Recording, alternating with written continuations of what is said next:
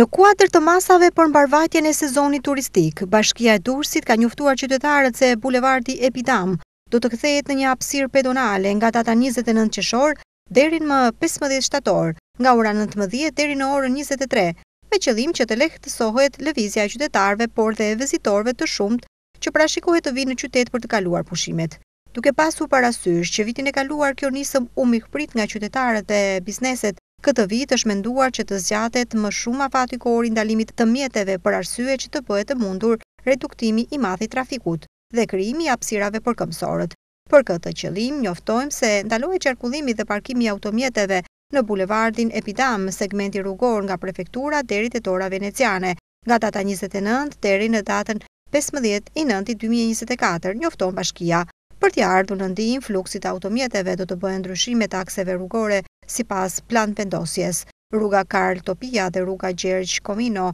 me një sens lëvizje, ngjitja drejt Vilës së Zogut, rruga Telat Çela dhe rruga njëmbëdhjetë Dëshmorët e Stanit me një sens lëvizje.